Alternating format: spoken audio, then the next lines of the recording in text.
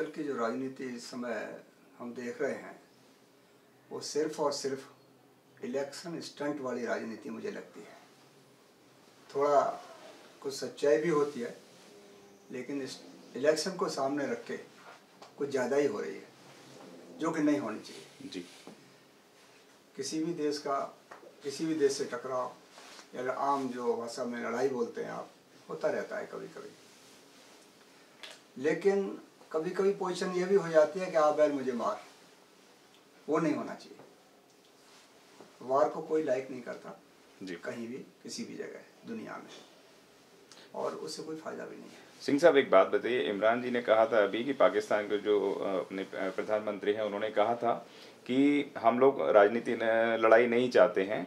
तो क्या वाकई में उन्होंने इस तरीके का जो भारत दिखा रहा है मीडिया कि उन्होंने हथियार डाल दिए वो लड़ना नहीं चाहते झुक गए तो क्या इस तरीके का दिखाना चाहिए नहीं दिखाना चाहिए?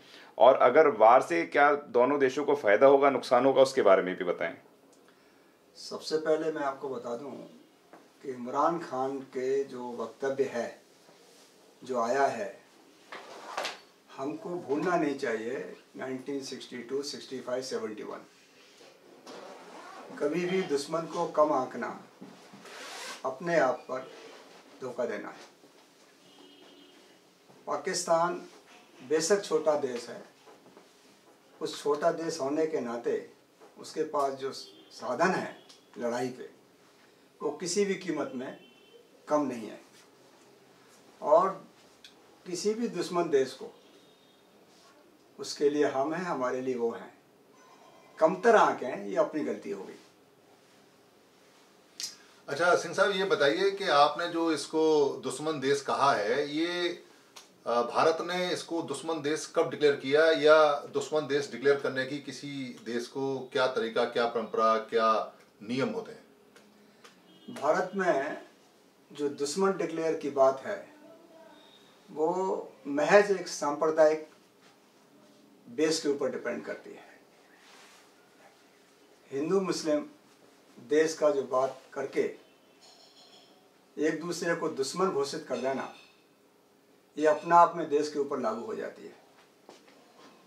अभी देशों के बीच ही नहीं, मैं तो यहाँ तक कहूँगा कि अपने देश भारत में भी जो भी राजनीतिक पार्टियाँ हैं या जो सत्ता में हैं, वो भी यही कोशिश करती हैं कि यहाँ ये दो संप्रदाय, हिंदू मुस्लिम को लड़ा के अपना अपना उल्लू सीधा करें।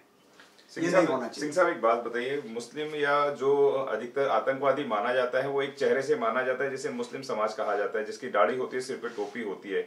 जबकि अभी जो 40 जवान मारे गए थे वो एक हिंदू और शर्मा परिवार से था। तो उसके बारे में क्या बोलेंगे कि आतंकवादी का कोई चेहरा होता है या सिर्फ़ आतंकवादी हम लोगों ने बना रखा है या राजनीति पार्टियों ने बना रखा है? उसके बारे में क्या बोलेंगे? आतंकवादी किसी भी मज़हब में नहीं होते।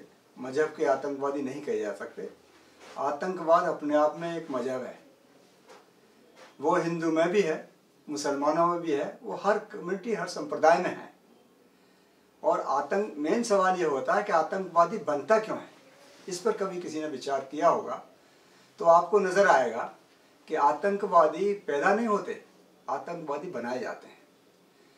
देश, किसी भी देश के ऊपर जब मैं बात करूँ आपको तो आतंकवादी तभी बनता है जब उसकी जो एक आज़ादी है, जो उसके आकांक्षाएँ हैं देश में जीने की। उसकी जो डेली नीड की चीज़ें हैं, जब उसमें कहीं खलल पड़ता है या उसके ऊपर एक इनजस्टिस होता है मेन चीज़, अन्याय और अत्याचार, तब उस आदमी की संवेदनाएँ जागती हैं और तब वो सोचता है कि मुझे कुछ और करना चाहिए। तब वो रास्ता अपनाता है जिसको नहीं चाहता। तो आतंकवादी मैं आपको बता दूँ, कभी भी कोई स्वेच्छा से नहीं बनना चाहता। हालात पैदा किए जाते हैं कि लोग आतंकवादी बने। ये डिपेंड करता है उस देश के हुक्मरानों के ऊपर कि आतंकवादी न बनने दें। उसके लिए उन्होंने कोशिश करनी पड़ेगी। उसके लिए उनको साधन जुटाने पड़ेंगे, जो इस देश में नहीं हो रहा है। ये बड़ा ही दुर्दैव और दुर्भाग्य कहते हैं कि हमारे देश में कभी भी मानव कल्याण की बात को तहे दिल से नहीं लिया गया।